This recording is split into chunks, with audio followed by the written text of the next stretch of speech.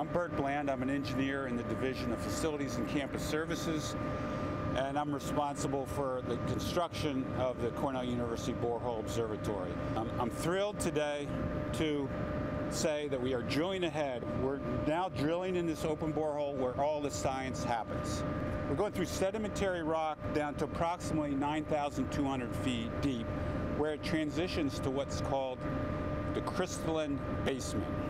That's metamorphic, hard um, rock like you see in the Adirondacks. Primary uh, goal of the science and testing is to identify a target formation for a heat reservoir for the next phase, which is a demonstration of Earth source heat to heat the campus.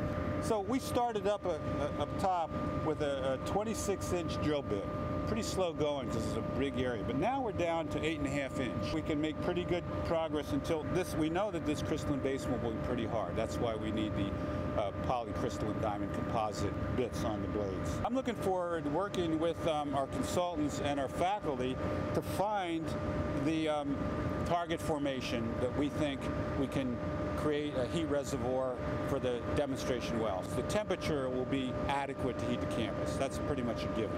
It's just the, the uh, reservoir properties for permeability or fractures and, and, the ability to use that permeability or stimulate more permeability. That's really looking forward to some positive outcomes there. It'll be a couple weeks before we get to the bottom of the hole into the crystalline bedrock and then we'll start doing a lot of science and um, looking forward to that happening.